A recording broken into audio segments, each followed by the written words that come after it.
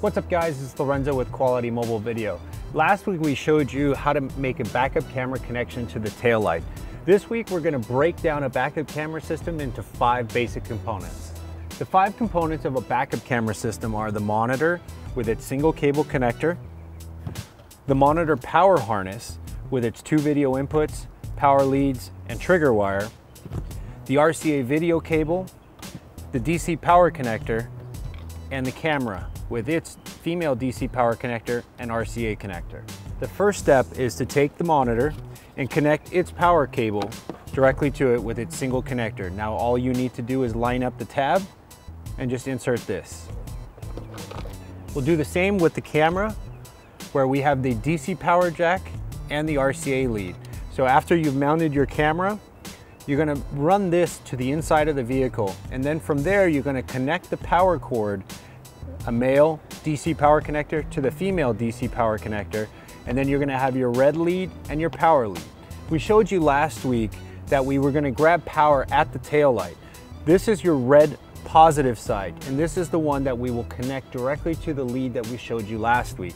The ground will be grounded to the vehicle, and now we'll go ahead and mimic like we're running the RCA the length of the vehicle. And if we were to have this behind some panel or behind the tailgate, we would make our video connection. So we'll just line these two up and insert them.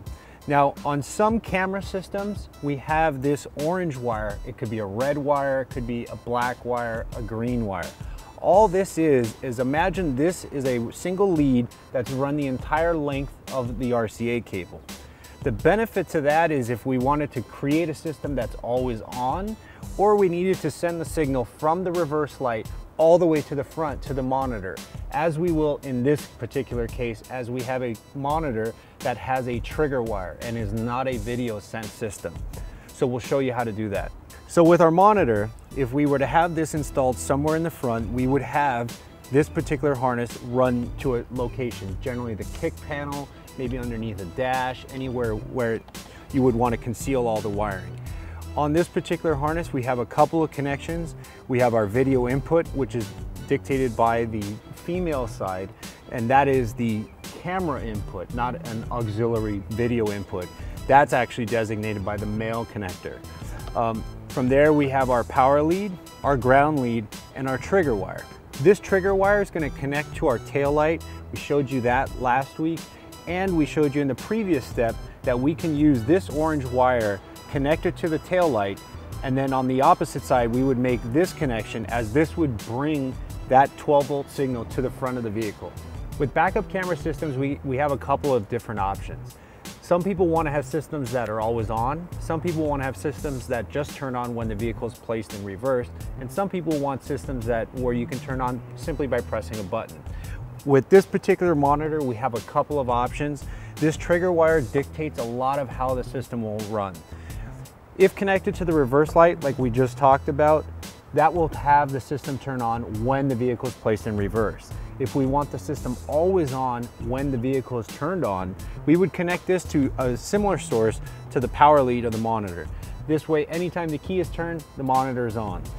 At that point, we would have to wire this particular lead to the camera to provide power always to the camera. And we would get that from the same source we would wire the power source of the monitor.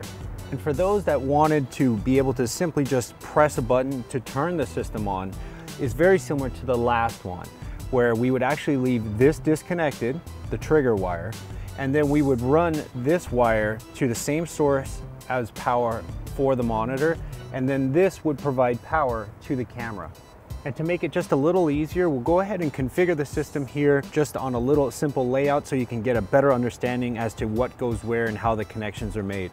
So if we were to have our camera installed, we would connect our DC power connector positive side would go to the reverse light, ground would be grounded at the vehicle.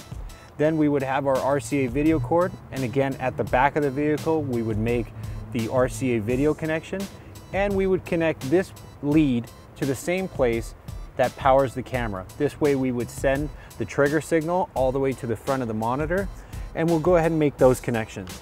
So up front, we would make the same connection with our video RCA lead, and then we would have our trigger that we connected at the back of the vehicle and we would connect that to the front monitor connection trigger wire. Then we would have our positive side uh, to provide power to the monitor, and then we would ground the monitor. That's it for our five-step installation process and system layout. Make sure to check out our previous video on the tail light connection. Visit qualitymobilevideo.com to get yours today. Thanks for watching. See you again next time.